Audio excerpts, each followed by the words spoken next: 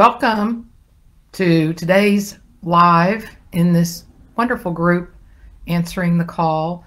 Apologize for being a minute or two late. It wouldn't let me start my video, so that's why uh, we're starting a little bit late today.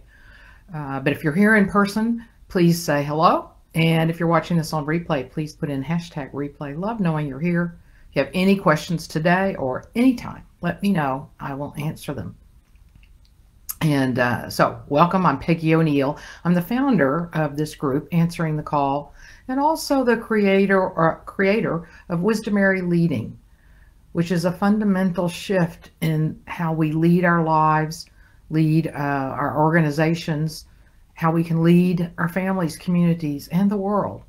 And it's based on the new game-changing understanding of the nature of reality, based on science and wisdom traditions. And answering the call specifically is about answering that longing that we have for um, often the question is, isn't there something more to life? It's that longing, it's that sense that yes, there's something more to life, something more that I'm here to express in maybe a more powerful, unique way, uh, and or who am I? What you know, who am I really in this world? So welcome. We are always expanding that conversation and I'm bringing lives that help us understand and live as who we truly are. Hey, Sharon. Very happy to see you. Thank you for being here. So today, our topic today is dramatically reduce the stress in your life. Dramatically reduce the stress in your life. And what we're going to discover today is how the belief in a separate self creates stress that not trying to be in control creates incredible freedom. How to open yourself to what is truly possible for you. And then what a scene from the movie It's a Wonderful Life illustrates. You know, that's the movie around Christmas with Jimmy Stewart. So we're going to talk about those things today. So how does a belief in a separate self create stress? Because it sure seems like we're separate, right? You know, I'm over here, you're seeing me inside a computer, and you're wherever you are. And so it seems like there's a separation there. And yet when we explore that, we realize that I cannot separate myself from any experience I have. So you're experiencing watching me on this computer. You can't separate yourself from that experience. It's one seamless experience in life, in all of life. so that's maybe starting to get the gears going about. So, how does a belief in that separate self create stress? Well, if I think I'm separate from everything, then think about it. Everything is the universe, the infinite nature of the universe. Or even if you're not thinking about the infinite nature, there's some sense there are all these planets, planets, galaxies. Or even if you bring it closer to home, there's all of Earth. There are 8 billion people, trillions of plants and animals and gazillions things, right? So if I'm this separate being from all of that, then I've got to protect myself. Now, this all isn't things we we know. I mean, that we're consciously aware of. It's, it's sort of unconscious. It's behind the scenes. But if we check in, we can just see, yeah, that's the programming kind of running me. I've got to protect myself. I've got to defend myself. I've got to keep other people out. A lot of talk about boundaries. What does that do? Keeps people out. And when we think that we've got to protect ourselves, and I'm this finite, limited, constricted, restricted being in the world, that creates stress because I'm alone. Even if I've got hundreds of people around me, if I'm feeling that sense that I'm separate from them and separate from life, then I'm going to feel stress because I'm going to feel all alone. I'm going to feel I don't belong. Again, these are not surface, uh, you know, uh, things you're thinking that are real obvious. They might be now that I'm pointing them out. And and then it creates stress because we we we also identify when we identify with that I'm a separate self, then we think I'm responsible for everything. There's someone to blame here. If something's going wrong, it's all about me. I did something wrong. Think about that. That's incredible stress. We're told you're 100% responsible for your life. You've got to make something of yourself. Wow, the pressure, the intensity of that. So, all of those are misunderstandings about who we truly are.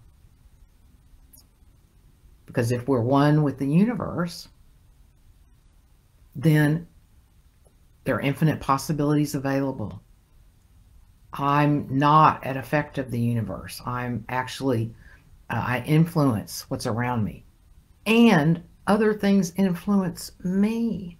So that's why we're not 100% responsible. That creates so much stress for us, partly because I think we sense, we know that's not accurate. There's so many other things happening in the world all the time. We're being influenced by those. So all of that creates incredible stress. So how does not trying to be in control, which once we realize that we're not separate, I'm not in control, I'm being lived, I'm one with the universe. Everything is influencing me, I'm influencing everything else. It's all interconnected in a flow.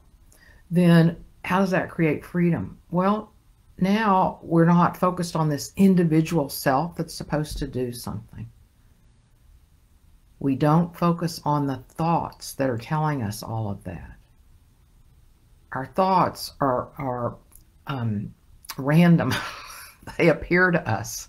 They appear to us out of nowhere, but we're paying attention to those, and they take us away from our true self, which is our true nature is peace and love and happiness.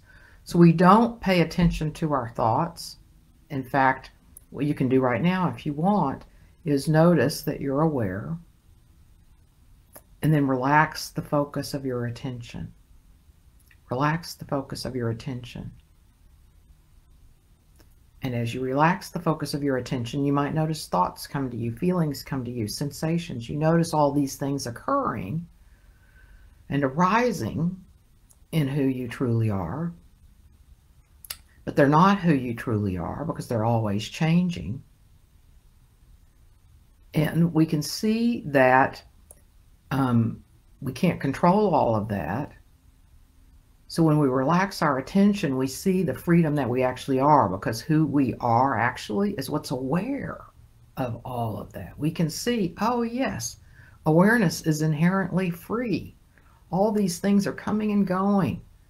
Our focus comes and goes. We look in different places. That That's the freedom we actually are when we relax our attention and don't focus on anything in particular, any thoughts in particular, feelings, sensations we're free when we do that. You might go, but I need my thoughts to carry out something. So, so what happens when we don't focus on the thoughts that arise in the way that I'm talking about? Relax the focus of our attention.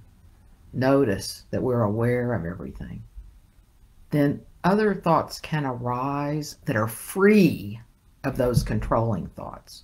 Other thoughts can arise that are free of those controlling thoughts. So that's where the creativity is, the aliveness is, the um, the um, possibility is. So when we don't try to be in control, which we're not anyway, and we relax into this knowing, then we're relaxed, we're free, we're not stressed. And when we notice we're getting stressed again, we do the same thing. Relax the focus of our attention and just let thoughts come and go. But and when they catch our attention, because they will, then we we notice, oh, that has my attention again. Relax your attention. That's freedom. And how do we open ourselves to what's truly possible for you? Well, I basically just said it. I jumped ahead, I guess. I put it together, intertwined it. So how do we open ourselves to what's truly possible is just that. We relax our atten- focus of our attention from our thoughts, our feelings, our sensations, the activities that are going on. Yes, when we need our attention to drive, when we need our attention to finish a project, sure. But other times when we when we notice we're caught up in things, we can relax our attention and be still and see what arises. Notice ideas that come to us. Stay open to what's possible. Remember that you're infinite, infinitely wise. You're infinitely intelligent intelligent. You are the universe. And staying open to that. And as you do it over time, it becomes more and more real for you. You're, you open up more and more and more. So it's just sticking with it, sticking with it, sticking with it. Keep returning to the truth of who you truly are. And then now, what is a scene from the movie uh, It's a Wonderful Life illustrates? So do you remember Clarence, Clarence the Angel? And uh, one time he was being chased by the sheriff Remember the gruff, gruff sheriff? He was on Wagon Train too many years ago. Forgotten his name, but anyway, the sheriff was chasing Clarence around, and then he grabbed him. The sheriff grabbed Clarence, and then he, then all of a sudden Clarence wasn't there. He disappeared, and the sheriff's going like this, scrambling to try to hold on to something that's not there. That's what most of us are doing in our lives all the time. We're trying to hold on to something that's not there. This illusion that there's a separate self that's in control. That's the illusion. That's what we're hanging on to that creates incredible stress, keeps us from feeling free, keeps us from living the life that we really are here to live this free, open, alive, passionate, creative life. So, as long as we try to hold on to that, we're holding on to this illusory thing, just like Clarence. we can't hold on to it, it's not there. so, how to dramatically reduce the stress in our lives? Then um, uh, remember that you're one with everything. Relax your attention. Take you know, just don't focus on anything in particular. Relax your attention. Let the thoughts go. Let the feelings go. And um, and then um, by realizing everything that we're saying today, and realizing when you are trying to be in control, that's like grabbing onto That's not there, then relax your attention. Just relax your attention.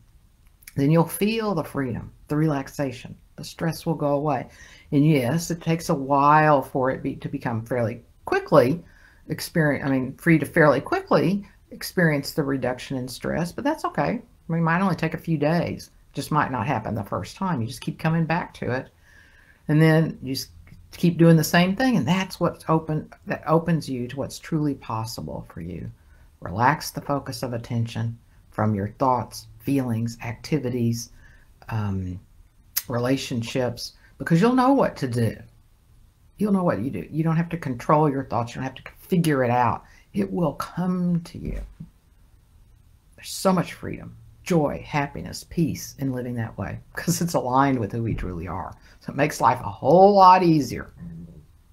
Excuse me. Yes, it may be uncomfortable at the beginning, but that's how we're here to live. All right, so are there any questions or comments? Anything you want to add to this? And if you're watching this on replay, please, you too, um, add any um, comments, thoughts, or questions. Sharon, all experiences of what we consider separate selves are intertwined. All experience is the same substance, just variations on the theme. Ah, beautifully said. Beautifully said. Yes, everything is intertwined. There's no separation. Beautifully said. And yes, all experience is the same substance. We're all made of the same thing. All experience, thoughts, sensations, feelings, all made of the same thing. Consciousness or awareness, source. They all are made of consciousness, arise out of consciousness, and expressed as consciousness. So, but as also Sharon said beautifully, uh, variations on a theme. beautifully said. Variations on the theme of love, peace, happiness, and fulfillment, and um, freedom. Whether we know it or not, that's what's actually going on. Love how you said that, Sharon. And yes, my experience is intertwined with yours, yours with mine. Yes. And everybody that's watching this and not watching this, it's intertwined with everybody. All right. Thank you. Thank you for being here today. And uh, we'll see you again next week. Bye.